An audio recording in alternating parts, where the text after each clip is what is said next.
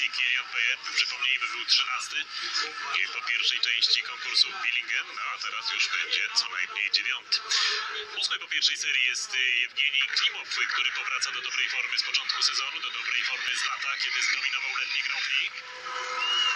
Na drugi skok Rosjanina. Odważnie tutaj wychylił się do przodu, złapał noszenie pod narty i ląduje poza zieloną linią. A zatem drugi świetny skok Klimowa, 138,5 metra w pierwszej serii, teraz 143 z tej obniżonej 15 belki.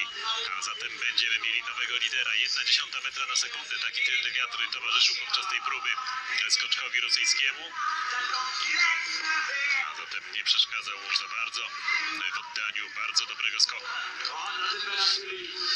No, troszkę tak osamotniony, jeśli chodzi o kadrę rosyjskich skoczków jest Klimow. Pozostała trójka, która przyjechała tutaj do Willingen, odpadła już wczoraj po kwalifikacjach. A powiemy, że to były kombinaty norweskie, czy nie będziemy? Możemy przypomnieć, oczywiście. Dobrze się stało, że przeniósł się, przestawił się na skoki, no bo jednak w tej konkurencji jest zdecydowanie lepszy.